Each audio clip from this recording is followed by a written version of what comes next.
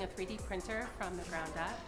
Um, we got a kit from here in China, and it's it came with some basic instructions, um, a manual. Uh, the students are now putting together that 3D printer, and we're not scaffolding anything. We're, we're just asking them to here it is, go. And so they're actually having to make decisions again about what happens, how it's going to be built, we help interpret the manual, we help problem solve, we offer solutions. Um, we've had the engineers in a couple of times to get the kids started when they get to a sticky point. But basically, they just come in and they're just building. Um, seeing girls who um, are doing very well, and we have one group of girls that are just going like gangbusters and are really doing a wonderful job and are now our example group. And it's also a surprise to see how 12 year olds tackle a problem like that. You know, I think I think as, as teachers, it's, it's really our duty to make sure that kids are being equipped for the 21st century, and um, I think we're really going to start to see, and we already are seeing, a huge need for more people to understand coding. We started doing lots of Scratch activities, uh, and then that moved to Code Avengers, they've been learning about HTML coding, and so they've actually been able to use what they've learned from our coding sessions uh, to tie in with blogging. And, so, and sometimes they found that it's much easier to actually use the HTML tags. So they create uh, a robot that can be controlled by uh, Bluetooth with your phone. And so um, we'll put them in the arena, and then they just kind of fight to whichever one falls over and can't move anymore. The students have surpassed me in terms of constructing the robots. They're a lot more creative than I am. One group of uh, females who had never used robots before this, their bot was actually probably the most successful out of all of them, and it's just really nice to see um, just their confidence grow. In art, uh, fourth graders have been working on um, designing um, jewelry using a uh, 3D app. Uh, called 123D Sculpt, and then taking those designs and putting them on a cloud, and then uh, 3D printing them. We don't have the means to cast bronze, or um, and the students and I really discussed in depth why ceramics isn't a good choice. It's breakable, it's too heavy, it's too big. Why other materials and we really justified, um, they really justified why 3D printing. I think it's really important to showcase to an authentic audience um, because it allows for um, our students to um, see that there's value placed on their work and not just because it's cool, not because it's uh, 3D printing, um, but because the aesthetic and it's so well done that they can actually um, say this this is what I've made from from nothing. They literally started with a blank screen on the iPad well, when you look at um, an e-portfolio, it's basically a compilation of their favorite work. This year, my students created their own completely. Instead of saving all of the work till the end of the year, most of the kindergartners had forgotten about it. So when we do an e-portfolio, they just take a picture of it and they say, oh, I really want this in my, my e-portfolio, and then they send it home. I think a lot of times um, they have questions that they might be afraid to ask in class or that they just need a little more time to work out. And so if they can see a teacher work through the problem and they can watch it over and over again, um, or they can slow it down, or they can take the time to practice it with that guidance that they might not be getting one-on-one in a classroom, that's really helpful. Um, we do our videos with Educreation, so we're modeling, and the kids, we can see all the thinking that the kids are doing because they are explaining themselves. But it's not just a tool to explain things to others, it's also a tool to reflect on what they've done, which is important. So the differentiation that comes out of this is just so natural in the process and really um, it really just um, is fulfilling as a teacher to know that you're meeting a student where they're ready to learn. I wanted it to be a passion project, and that's how it kind of came about. So we figured out what passion means. We figured out that they have something that they're very passionate about. And some of them went along and said, hey, I want to do this for the world. Or I'm passionate about this because I want to learn more about it. And these projects are unbelievable, and they have been coming in before school starts. Like, Mrs. B, can we come in? Can we stay inside during morning recess? I'm like, sure. you know, you don't want to ever say no to learning. Um, they use uh, an app called Moxtra where they're keeping track of their workout. They also have videos uh, that they can compare themselves to. I'm always giving them feedback on Moxtra. I'm also putting pictures and video that I take as I walk around onto their binders. You know, usually they just want to play dodgeball or volleyball or basketball, but they are really concerned about improving their bodies and improving their health. I, I think that's something you actually see this is different from traditional way and they're really engaged and they're really actually learning. They expand their Chinese vocabulary. Paper Desk app gives them many ways to express their ideas. So those who are ready, write, and ELL students like our French student, she used the audio to record her ideas. And then yesterday she decided to use the keyboard to type. So she took the risk.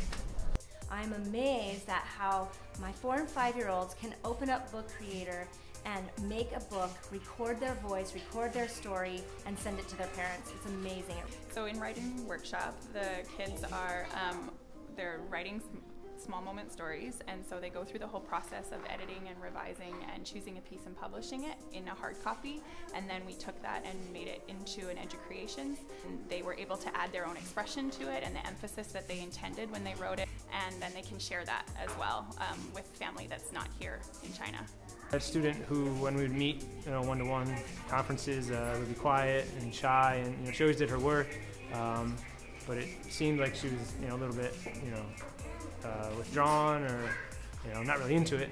And then you know once we've created the digital stories and going back and looking at it, it blew you know blew me away. The cupcake is gone. The cupcake, the cupcake, the cupcake. Oh my, where is the cupcake? And you know it was it's been shared globally, um, and everybody who sees it you know loves it.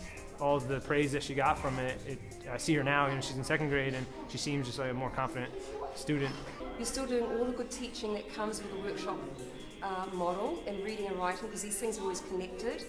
But then you've got that wonderful added um, transformational piece where kids uh, focus on the writing piece, doing what they normally do, they're having their mini lessons and so on. And then we move into um, uh, using technology to enhance what they've done. Um, we've had a tremendous response to our online publishing party. Um, parents did a great job of helping share the link of each individual blog. So we had grandparents and aunts and uncles from all over the world coming in and commenting and um, creating their own posts, inspiring new ideas. So um, it's been really fun. Their level of commitment to really doing their best work in publishing has increased.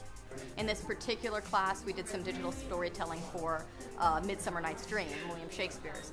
And um, rather than having the kids read the entire play from start to finish and do a sort of a dry, drudgery version of Shakespeare, which is too often the case, what they did was they chose a scene and um, they infused it with their own language, they infused it with their own choice of images. Some of it was live action, some of it was animated.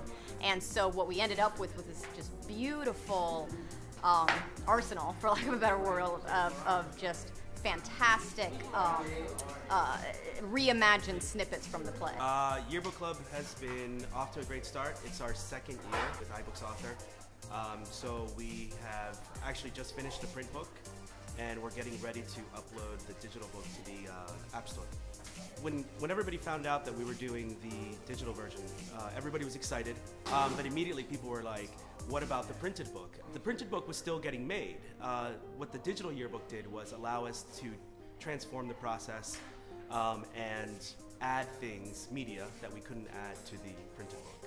Um, I created a Facebook page um, and called it Conflict Fit, and the idea was to get my kids to start working out outside of PE class. And so we were seeing how social media would affect their their external motivation, how um, the accountability of sticking to that workout by putting it onto Facebook, sharing their pictures, sharing their plans, um, and getting that feedback from their peers, um, from teachers, from their family, how that would keep them um, to continue working out on their own and not just me saying, go work out, go run, go do push-ups, go do sit-ups.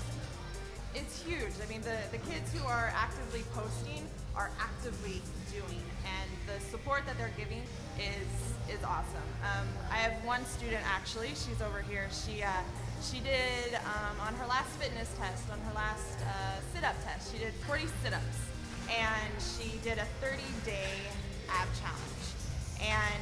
end of that 30 day, we had another um, fitness test. She was able to do 145 sit-ups. Correct form. Other kids were like, what? This really works? that's awesome. And so I actually started to see a lot of more, a lot more kids doing 30-day plank challenges, push-ups, sit-ups. We're working on developing global citizens in our class and uh, through the use of Writers Workshop and Twitter as our platform. The exciting part is seeing the children um, want to go onto Twitter, want to write, want to connect with other classes, and uh, want to share what they're learning in the classroom. Social media can connect us in so many different ways. So we started early by hooking up with a class from the graded school of Sao Paulo in Brazil, and they became instant buddies, and they started a Google Doc together where they created their own project, sharing what about the classroom. That stemmed out to some collaboration with a school now in Bahrain, all via links that I found through Twitter. But I blog because I want to engage in what's happening in the world, and I want the people to know that there's something relevant that I'm talking about, and I'm modeling that ability to communicate effectively. I preach it to my kids, and I want them to be able to do it themselves. Um, so blogging has been a huge tool in which I can bring that to the forefront um, and and connect. Uh, I love Twitter because it's kind of cool. We get a dialogue with people all around the world. And the SIS Rocks, we can get a snapshot of what's happening throughout the school without leaving our classroom. It makes learning visible and parents sees what's going on in the classroom on a real-time manner. And I like to collaborate with other teachers too. Well, I think we have a community here and we learn from each other. So I think it's important to share the learning that is happening in the classroom. Both my teaching and the students' learning is not be limited in the classroom. That's what I love because this such a huge stage for us to explore. We are collaborators. We are independent learners. We are communicators. We are global citizens. We are complex thinkers. At SIS, at SIS. 在蛇口国际学校。